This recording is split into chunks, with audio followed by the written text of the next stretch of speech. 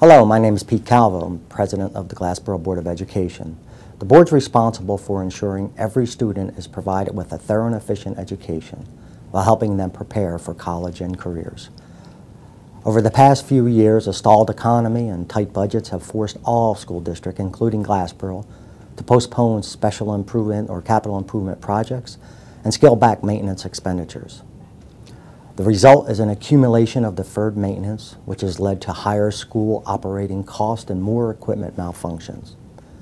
It's common sense that substandard conditions in our schools make it harder for teachers to teach and children to learn.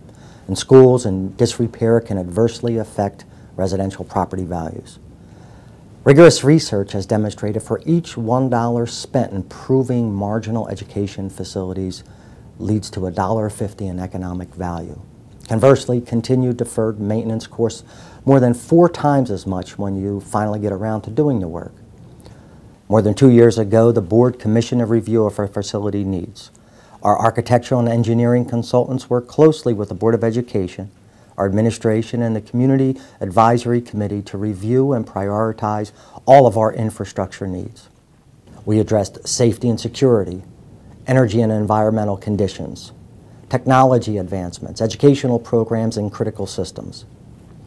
Specific needs include roof repairs and replacements, boiler and chiller systems, correction of water infiltration at the intermediate school roof perimeter, fire alarm replacements, the construction of secure entry vestibules in all schools, security cameras, and district-wide communication systems, technology, and classroom upgrades to support classroom instruction. The Board of Education understands the need to balance the community's desires and the ability to actually pay for those needs.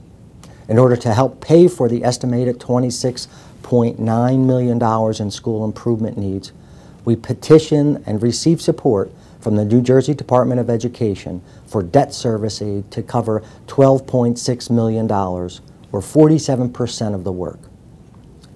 However, acceptance of state aid is contingent upon passing a successful referendum. There are few things in this world that's more important to a society than investing in our child's education. As a proud member of the Glassboro community, we all see and appreciate the redevelopment of the downtown area expansion through Rowan University and the economic stimulus brought about by those changes. It's important that we keep the momentum going and ensure our schools are top notch and stay that way for years to come. I urge you to please do your part and familiarize yourself with the referendum and come out and vote on September 30th. It's your only chance to decide where your tax dollars are going. Support your local schools, your community, and the future of our most valuable asset, our children. Thank you.